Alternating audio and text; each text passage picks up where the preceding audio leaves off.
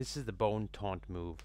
Essentially, you taunt a creature with your bone by hitting him with it, and then the creature will want to come after you and you only. The strategy is to make sure the way to get to you is blocked, so it forces the creature, in this case the cave troll, to have to go around the dungeon to get to me. Cave troll does not hit the guardian who's next to me and does not hit Kana as well.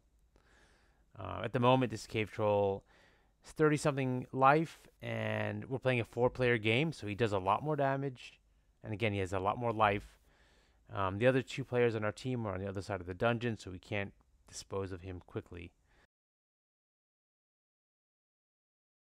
First action, throw an Astral Strike at him.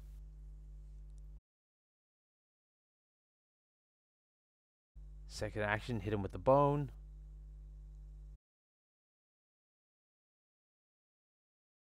I have a web bomb, so I'm going to web him so that he doesn't go far away so we could beat on him.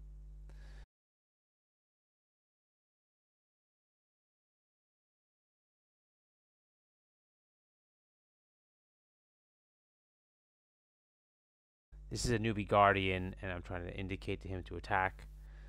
But he put on his armor, which he doesn't really need to do because the cave troll won't hit him. And summons an elemental, so that's I guess that's cool. Beat on the cave troll a bit. Cave troll's berserked. Again, this cave troll is not going to hit the guardian or the barricade or the elemental. Never goes for elementals anyways.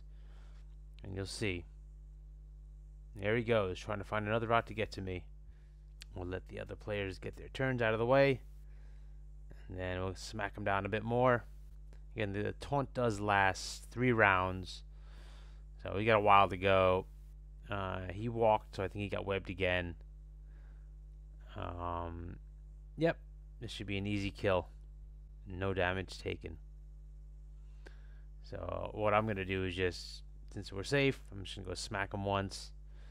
And then, again, tuck back into a place he cannot access me.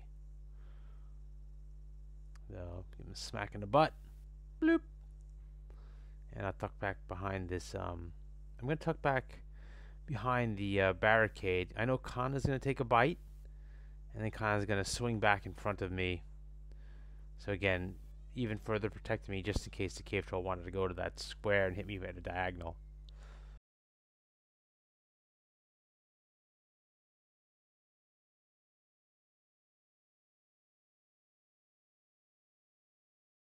And there the cave troll goes, just two squares. He was webbed, and he's taunted, so he wants me, but he can't reach me. So off he goes, trying to find another way to get to me. Wizard's gonna come help out, get a hit on it. Doesn't really matter.